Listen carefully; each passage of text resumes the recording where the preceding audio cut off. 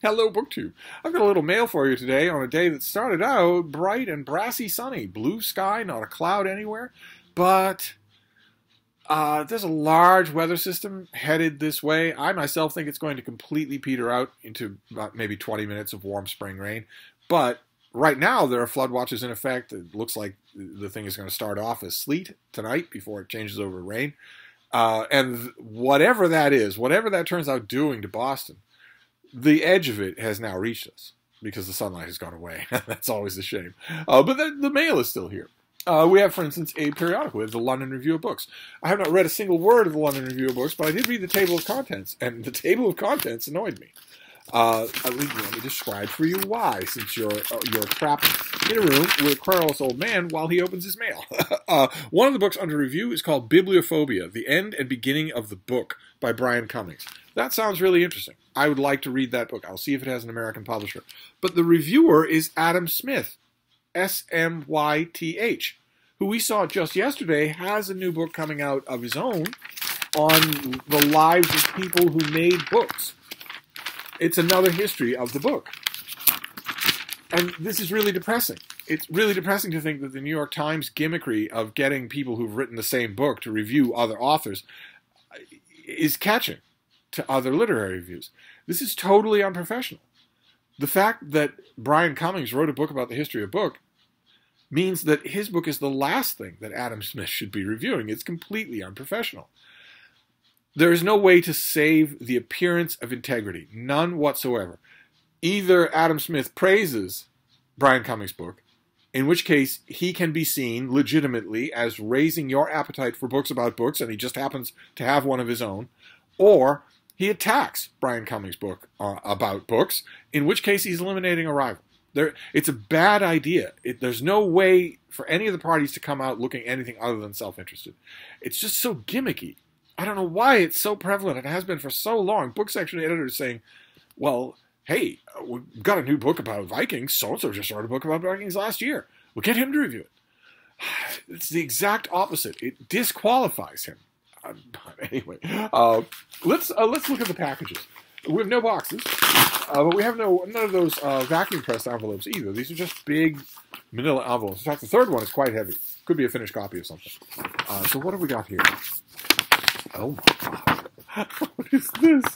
What is this? One, two, three, four, five, six, seven, eight, nine. Nine pages of, of the pub sheet. Good lord. Okay, well, the only thing I need is the pub date. I don't need anything else. The pub date is late April. this is the finished copy of Geoffrey Mak's book, Mean Boys. Uh, nine pages. Good lord. Uh, mean Boys, A Personal History is a stylish, keenly observed debut from Geoffrey Mak, an incisive memoir and essays about art, style, and politics, madness and salvation, and coming of age in an image obsessed culture in the 2010s.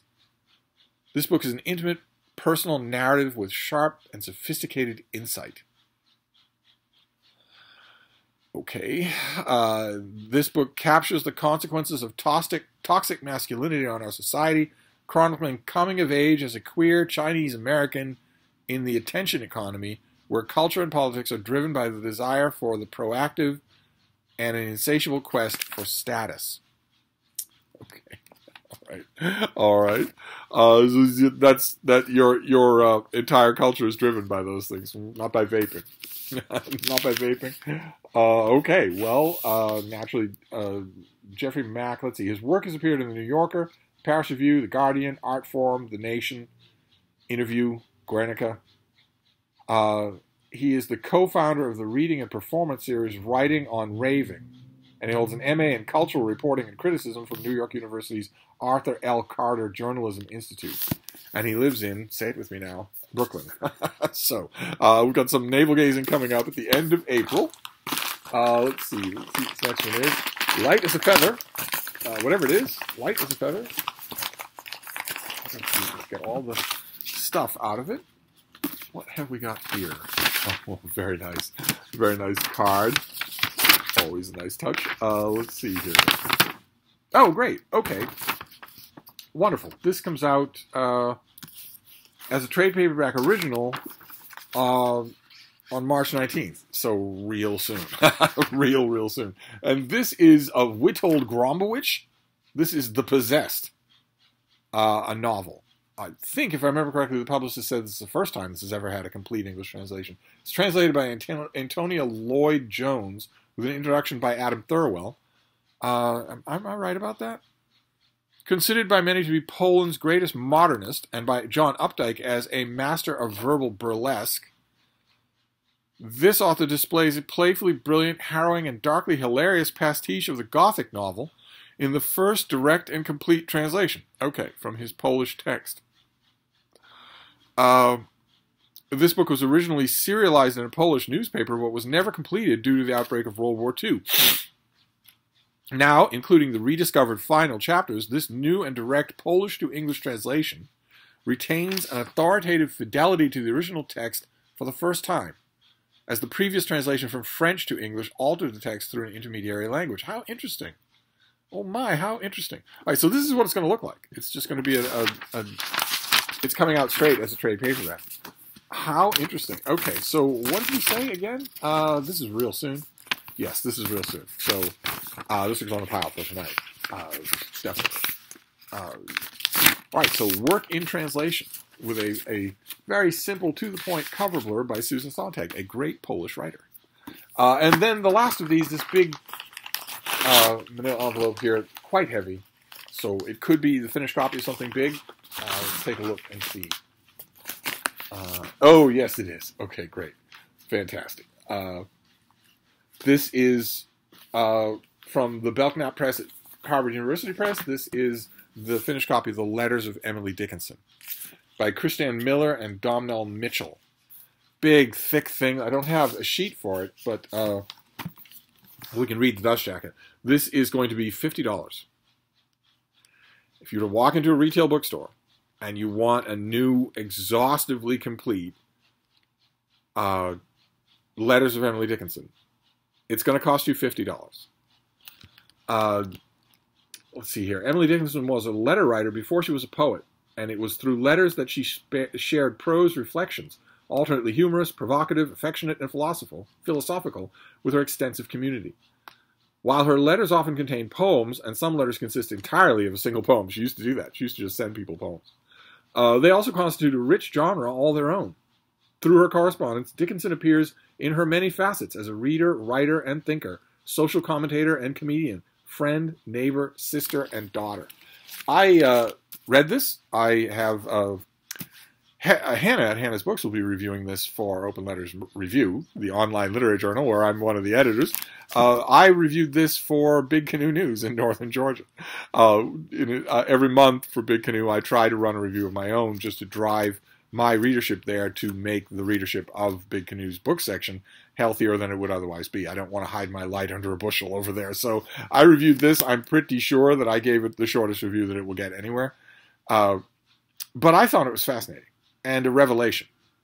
Really, a, a, revelation. The Emily Dickinson that comes through in these pages, when especially when you just read them in a great rush just for hours, is very different from the, the neurasthenic basket case that that often comes out in even her good biographies. So, uh, a very valuable volume, uh, and a distinct improvement on the last great Letters of Emily Dickinson, which was also done by the Belknap Press Harvard University Press. So great, great to have a finished copy of this.